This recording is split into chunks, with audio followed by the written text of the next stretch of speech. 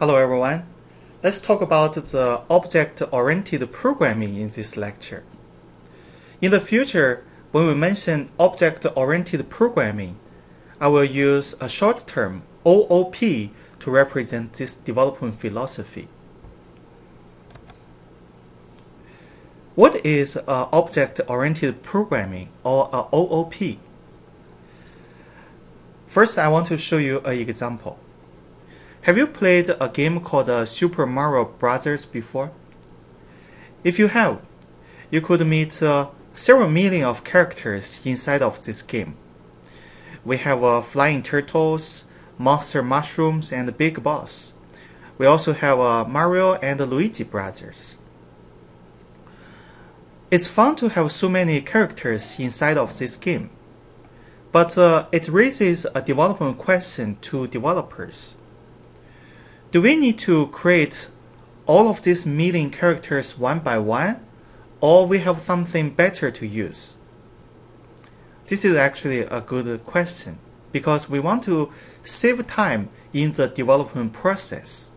So we have to find some better way to create so many characters for this game. This is what we can do. We first look at all these characters in the game. We found we can classify them into two groups. The first group is the bad guys, and the second group is the good guys. Then we look at each group. Inside of the bad guy group, no matter how many turtles, mushrooms, or big boss we have, they have so many things in common. For instance, all of them can run, all of them can shoot fires, all of them try to kill Mario Brothers. We want to summarize all these common properties, characteristics, or capabilities among bad guys into a model. Next time when we create a new bad guy, we only need to make a copy from this model that has all these common properties, capabilities, or characteristics. For instance, we want to create a new flying turtle we only need to make a copy of the bad guy, so we don't have to repeat and waste the time in developing those common properties such as kill Mario Brothers, shoot fires, and so on. We can also apply the same principle to the good guy group. Both Mario and Luigi have something in common. For instance, both of them can run, both of them can use weapons, both of them can save Princess Peach. So we want to summarize all these common properties or characteristics into a good guy model. Next time when we create a, a new good guy, for instance, your Mario got killed, the game will give you a new Mario. The game only need to make a copy from the good guy model. This example shows two very important concepts to everyone. They are a class and an object. We call a model that summarizes the common properties and functionalities of a group of something, a class. We call a copy from a class an object. For instance, we can treat customers as a class because all customers have uh, some common properties. All of them have a name all of them has a mailing address and so on and so forth. That's why we can treat all customers as a class. Then each individual customer in this class population is an object. Eric can be considered as an object of the customer's class. Tina is another object of the customer's class, and so on and so forth. Cars is another good example of a class. Each individual brand can be considered an object from the Cars class. Honda is an object of the Cars class. Ford Motors is another object of the Cars class, and so on and so forth. We always want to ask ourselves a question. Can I expand the current application into a class? If I can, that will be great. Because in the future, if I develop a similar application, I don't have to repeat the development process. I only need to make a copy from the class. That will save a lot of cost and time for a developer. What does OOP mean to Android developers? When we create our first app, the flashlight app, I ask you to drag and drop the toggle button from the palette panel into the UI design window. What is this thing I just highlighted on this slide? After our discussion in OOP just now, you should realize that this is actually a graphical representation of a toggle button class. The Android development team has realized the, the benefits of using OOP. So the team summarized all the common properties of a toggle button and create a toggle button class for the global developers. When you and I develop our own app, we don't need to develop the toggle button from the scratch. We only need to drag and drop the toggle button class into our app. Then we will have a copy of the toggle button class. If you recall, we really didn't develop any codes for the toggle button when we create the flashlight app. But uh, the toggle button is clickable in our app. The text on the toggle button can switch between on and off. The reason is we made a copy of the toggle button class offered by the Android development team. As I showed you on the left of this slide, in a palette panel of Eclipse, we could have other controls. For instance, regular button, checkbox, spinner, and so on. They are all graphical representations of control classes. We have so many classes how do we know how we can use them to create instances? The Android development team has created an online library for the global developers. This library shows us what, what kind of classes are available, how we can use these classes to create control instances. The user interface of the library looks similar to the one on the right in this slide and the web address is also listed in this slide. Now let's take a look at uh, the real library. This is what the library website looks like. In the upper right corner, we have a very important function, the search function. When you want to find out how to use a control class, you type in the control name inside of the search bar. For instance, we want to know how to use toggle button class. You type in toggle button. The search bar will offer you two options. On the left, it shows an example of using the class to the developer. On the right, it shows all the available functions inside of the toggle button class. If you have two options, I suggest you to always look at the example first. It shows how you can developing codes for each class. Let's take a look at the toggle button class example. On this web page, you can see what a toggle button looks like. Also, the website shows you how you can transform a graphical toggle button into XML codes. If you scroll down, you will find a collection of example codes at the bottom of this web page. This example shows us how to manipulate the toggle button control programmatically. These codes give us many hints. First of all, it shows us how to programmatically declare a toggle button. And then we can use the find view by ID to connect the programmatic toggle button with the graphical toggle button on the UI window. The second hint is it shows us how to show different surveys or information on the screen when the button is turned on and off. Let's focus on the middle of this course. We use a if-else structure to evaluate if this button is turned on. If it is turned on, then we should add some codes in the if structure. Otherwise, the button is off and we should add some codes in the else structure. This example also shows us that if we want to manipulate the toggle button programmatically, we don't need to develop the codes from scratch. We can copy these codes and then paste it into our own app. What we only need to do is to add the codes for the if and else structure. This is a very brief overview about uh, how to manipulate toggle button programmatically. Now let's talk about uh, our own app.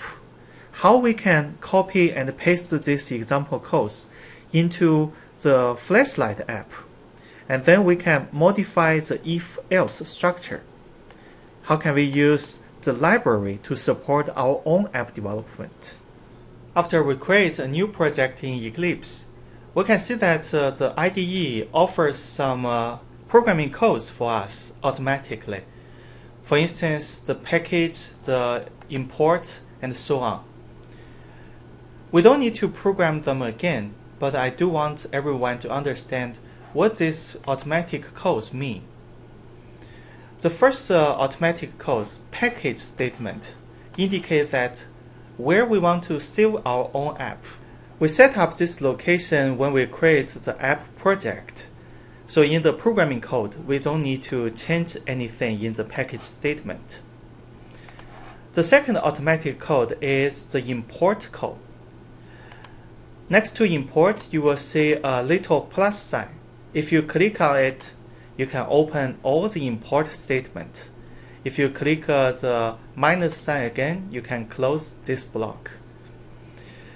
The import statement indicates to the IDE that what kind of uh, classes we want to borrow from the Android library into our own app so that we can create the instances of the control classes. For instance, you will see a import android.widget.toggle button. When we create the toggle button on the UI design window, the programming code will also generate this statement automatically. So the programming code will understand that we want to borrow the toggle button class from the library and we want to create an instance in our programming code. When you create a toggle button on the UI design window, Eclipse will automatically add the import statement for you.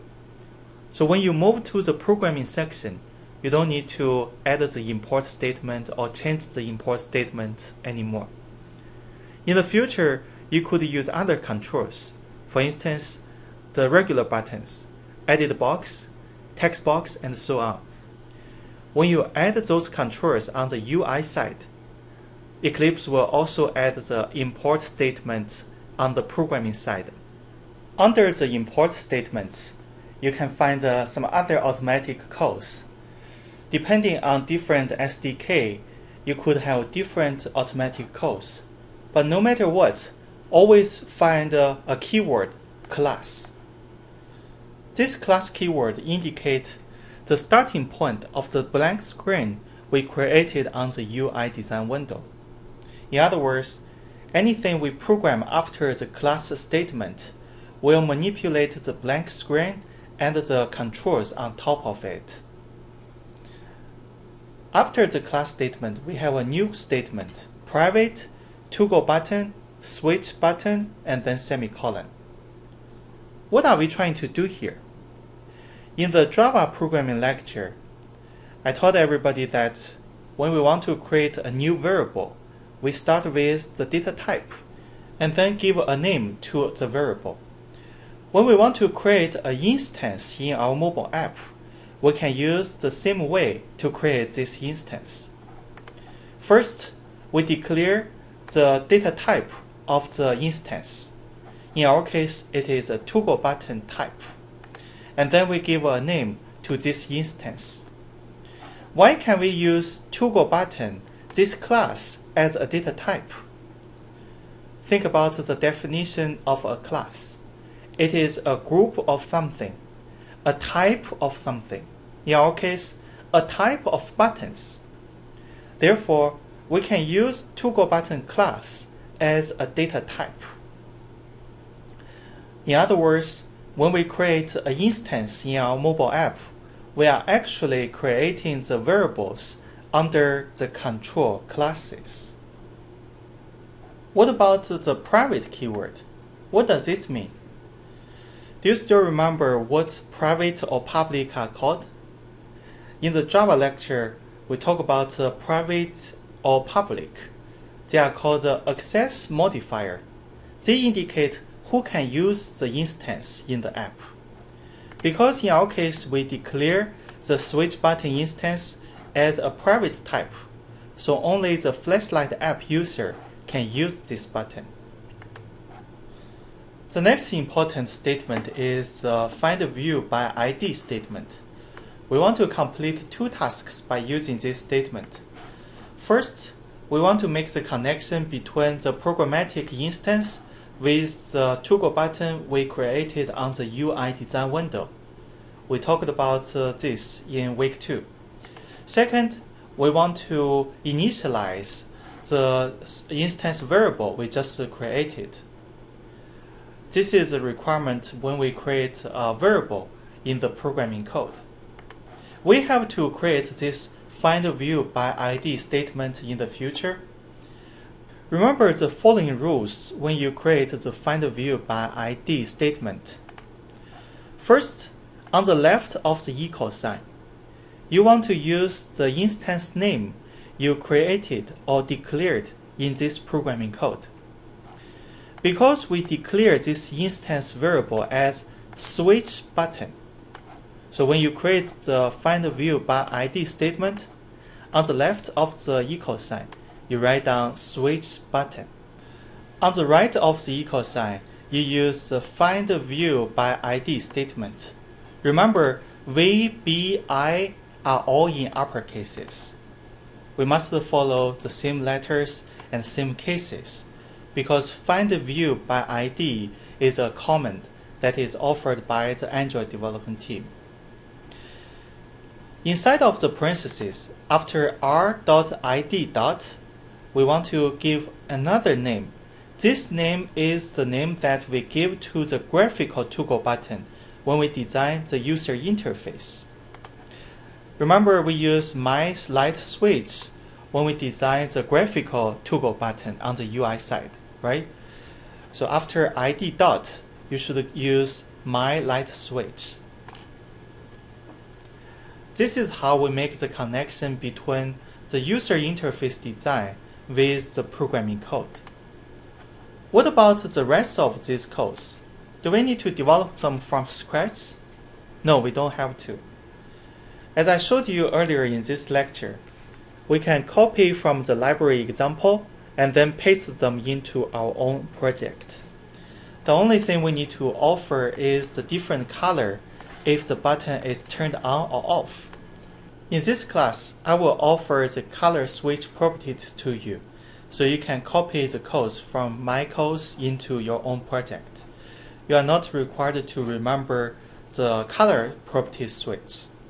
But I do want everybody to understand how this if-else structure works. If you look at the if structure, we have a, on inside of the parentheses. If you look one line up, you will see a on is actually a boolean type variable. On the right of the equal sign, we use this block of codes to estimate if the button is turned on or off by the users. If it is turned on, then we give a true value to this on variable in the programming code. Otherwise, we give a false to this on variable. This is how the if-else structure can estimate if the button is turned on or off and give different color to the user. In this lecture, I introduced the object-oriented programming practice to everyone. We also had a further discussion in the Flashlight app from the OOP perspective. After the class, when you review the class contents, please pay attention to two factors. First, how you can create instance variables by using the classes offered by the Android library. How you make the connection between the programmatic instance variables with the UI controls. Second, how you can use the if-else structure by using the Boolean type variables.